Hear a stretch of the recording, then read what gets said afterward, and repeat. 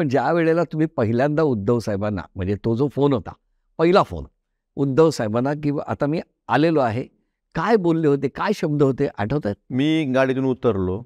माझा दोन फोन होते एक फोन स्विच ऑफ केला आणि दुसऱ्या फोनवरनं तो साहेबांकडे नंबर सेव्ह नव्हता. तरी बरं. पण मी डायरेक्ट त्या नंबरवरून साहेबांना फोन लावला. साहेबांनी लगेच एक सेकंदमध्ये रिसिव्ह केला. साहेबांना म्हणलं मी कैलास बोलतोय. साहेब मी उतरलोय. म्हणजे तो नंबर साहेबांकडे नव्हता. नव्हता. म्हणजे साहेब कुठ- कुठलाही जर हो. फोन त्यांना थेट गेला तर उचलतात. हो म्हणजे आता हे जे लोक म्हणतात की आम्हाला भेटत नव्हते तर अननोन नंबर उचलला साहेबांनी माझा आणि विदिन सेकंद उचलला. आणि साहेबांना सांगितलं मी कैलास बोलतो साहेब आणि असं असं मी उतरलोय. साहेबांनी मला धीर दिला तू घाबरू नकोस म्हणले आणि तू सुरक्षित आहेस का? हा शब्द पहिल्यांदा विचारला मला. तुमच्या बाबतीत? नितीन पहिले तुझी तब्येत कशी आहे सांग.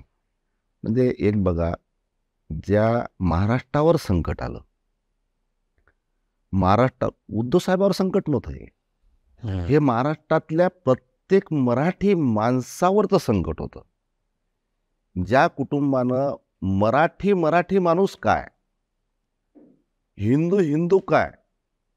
हे जे महाराष्ट्रात स्वाभिमान दिला मराठी माणसाने त्या मराठी माणसावर आगत होत. आहे हे जे सरकार कोसळण्याचं काम शिंदेच्या खांद्यावर बंदूक आहे नॉमिनल लोक आहेत यांचं काही नाही आहे.